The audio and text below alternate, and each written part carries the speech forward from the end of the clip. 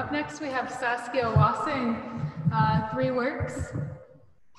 Uh, Balancing Tea Time, Fancy Tea Bird, and Ode to the Masters. And these are all free machine embroidery and applique silk with rayon thread.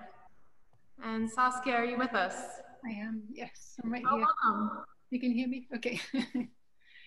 Hello, uh, everybody. Um, yeah, I'm very happy to be included in this exhibition. Um, and my work is uh, very heavily based in embroidery. It's been something I've loved doing for extremely long time. Um, I was introduced to the technique I use um, when I was actually in my teen years at Sixth Form College and um, I was shown how to use the sewing machine to do more than just make clothes and things that I wanted to use it to actually do embroidery. So when I talk about embroidery on the machine now, I'm talking more about nothing digital. It's a very basic, basic um, technique of using uh, taking the control away from the machine so that you can use it very freely. So you literally are drawing with the sewing machine. And um, I haven't really looked back since I started with that. Um, I then went on to art school and specialised in embroidery, but still my main technique is that same uh, basic, straightforward, line um, a stitch that I create uh, on the machine. Um, so my work, uh, well, as you can tell, I'm English originally. I've been in Canada for a long time, but tea is very important to me. Um, but it's also about the connections that we make on the simple sort of everyday um, task of, or task, or well, for me, it's definitely a necessity, um, having tea, um, of sharing um, the rituals of the things that we use and the way that we, yeah, the way we connect and, and, share over such a simple everyday thing um, like tea. And whether it's to share good news, not such good news, for comfort, for joy, for lots of things. So um, it's a, been a continuing theme in my work for many years and come out in different ways. Um, but more recently, it's been more about focusing actually on the particular pieces that mean a lot more to me. Um, and are so they're sort of um, odes to the things that I have that I use and I um, and the memories connected those and the people uh, connected with those.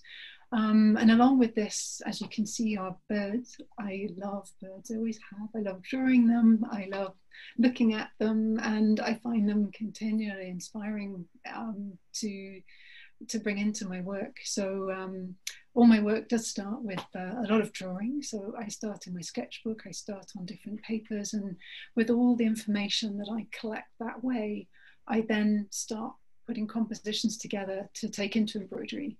Um, because for me, uh, I know the textile narrative is, is much more interesting. Um, and I love working with fabric. I love the feel. I love the sort of luster and luminescence that you can create and the textures you can create when you start layering and stitching. Um, so all these pieces that I have here are uh, pliqued silk. So it's sort of like collaging with the fabrics. Um, I'm mostly using silks I've had a good stash for a long time um, with rayon threads, which are um, really fine. They look like silk um, um and are beautiful colors and the huge range uh, that I use. Um, and then I just build away. So I, I, make my sort of ground in, in the embroidery, uh, sorry, in the, the silks, and then I start stitching on top. Um, adding all the details. So the surface becomes very densely stitched um, as I work and and as I build up the image and pattern. And colour is obviously very important to me as well. Um, I hope to bring sort of a celebration of of uh, a simple simple daily things and people and places together in the pieces. Um, and so like this piece ode to the masters is also a reference to the Dutch masters. Um, I have uh, Dutch connections and uh, so drawing and looking at classic paintings from the 1600s to um, also looking at, because the tulips in this are quite stylized, it's looking at uh, William de Morgan's work in London a few years ago.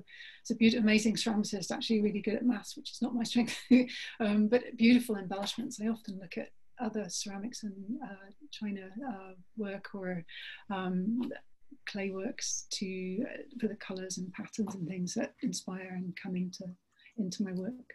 Um, I think that might be it for now. Uh, thank you very much, everybody. And uh, the exhibition, I was lucky enough to see it when it first opened. It looks amazing.